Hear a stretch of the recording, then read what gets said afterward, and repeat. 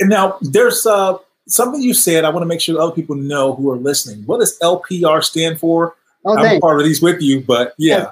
Okay. So this is a discovery for us. I mean, you and I, we're so called, some people call us master coaches because we've been at this for a long time. well, I, I, think that all, all, all that means is, I guess the biggest comp, the bigger compliment would be to call us master learners to find out what we're not conscious of and what we can learn more about. Because boy, I've learned more in the last four months than I have in the last four years. We've done two things.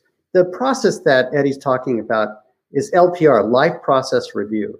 And there is in business, most businesses of any size develop, and many organizations do this as well. They, they set, set up a set of goals that they can measure because it's hard to really manage something that you don't hold yourself accountable for or have other people objectively holding you accountable for. So it's, it's the idea of you, you can manage what you can measure. So most businesses will get a group of the leaders of that organization together at all levels and customers and say, you know, what are our objectives? Where are we going? What and how do we break that down in terms of deliverables every week, every month, every year? And so that's called usually a, a business process review. And that's something we heard from Alan Mulally, who's also a part of